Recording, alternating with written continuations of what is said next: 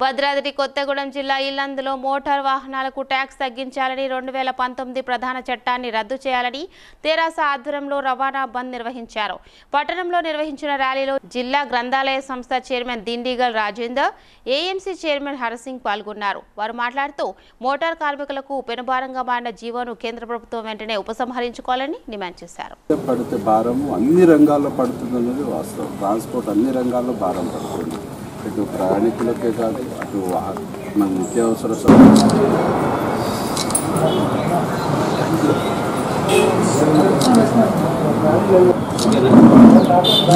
please like and share subscribe to BCN Telugu news Please like, share and subscribe to BCN Telugu News.